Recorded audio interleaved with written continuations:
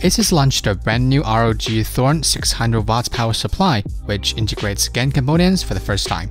ChargerLAB got this giant power supply for a while. It's probably the biggest power supply we've ever taken apart, so it takes a lot of time. Don't forget to drop a like and subscribe to us if you like this video. Anyway, let's start today's video. The packaging size is similar to a laptop, and the ROG logo and some product info are on the front. Some features are on the back. It comes with multiple cables and connectors printed on the side. Open the box. It contains the power supply, power cord, multiple cables, cable ties, instructions, etc. The cable ties and instructions are packaged in a plastic bag. Here are all the items inside the plastic bag. The power cord plug is 16A 250 volts and comes from iShen. The other side is the C19 socket. There are two braided motherboard power cables. Then these are two PCIe cables 1 to 2 and 6 PCIe cables 1 to 1. These are two CPU dual 4-pin cables used to power the PCIe 5.0 graphics card.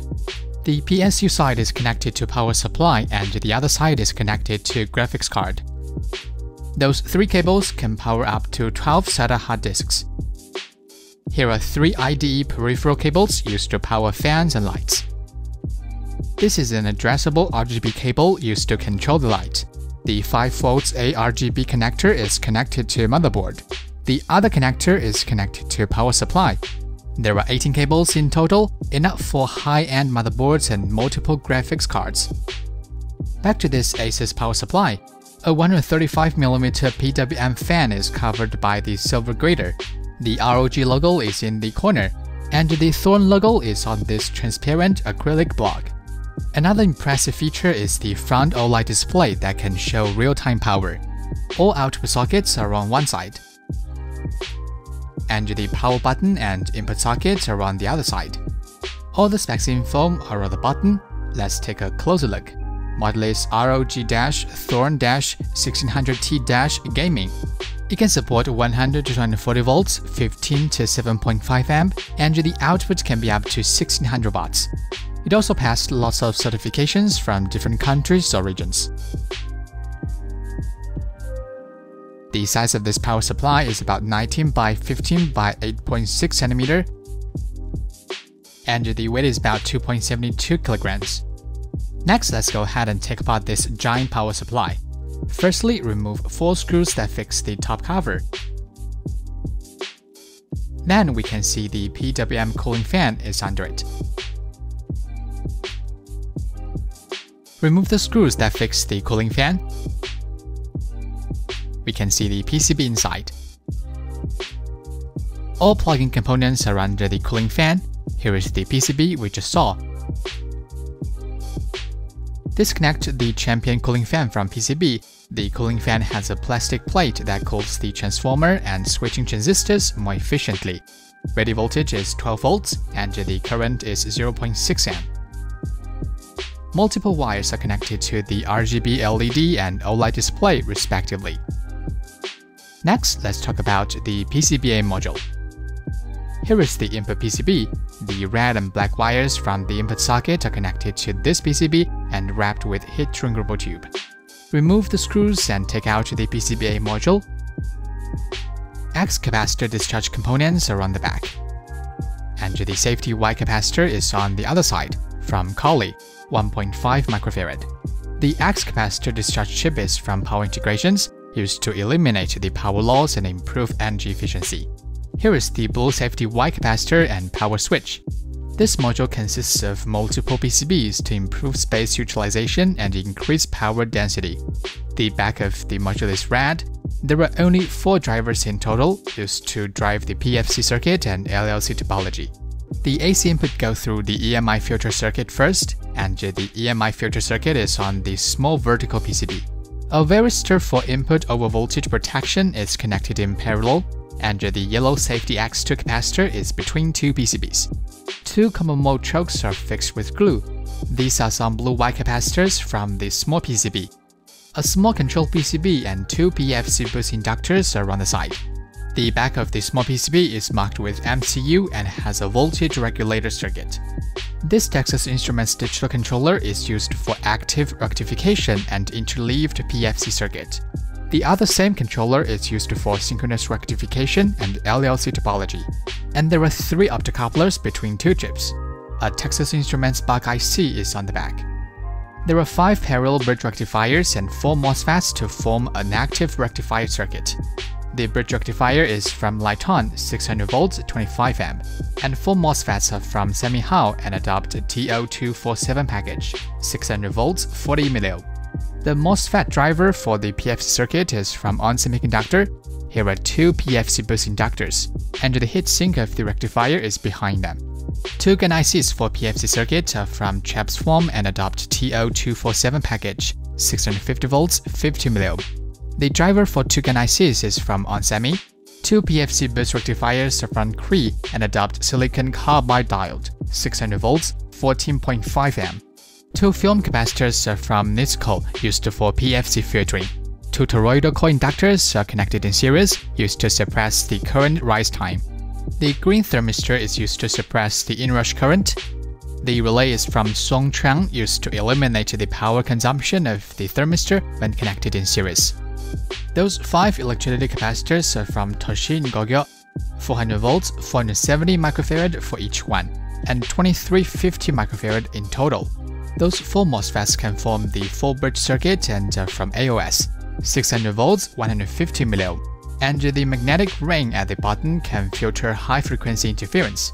Two isolated gate drivers for full bridge circuit are from Silicon Labs. It can support 5 kV isolation voltage and 500 mA output current. These two LLC resonant capacitors are from CARLI and are connected in parallel 0.039 microfarad 1000 volts. The LLC resonant inductor is tightly wrapped with black tape. The primary side is connected in series and the secondary side is connected in parallel to provide high current output. Since the output current can be up to 133 amp, the synchronous rectifier PCB is connected by copper plates to reduce the resistance. There are 16 synchronous rectifiers under the transformer, which are from Toshiba, 45 volts 0.8 milliohm. It can be divided into four parts and connected in parallel. Two Texas Instruments drivers are on the back, which can support 4 amp output current. It is controlled by Texas Instruments digital controller and drives four parallel MOSFETs for synchronous rectification. Two diodes can power two drivers.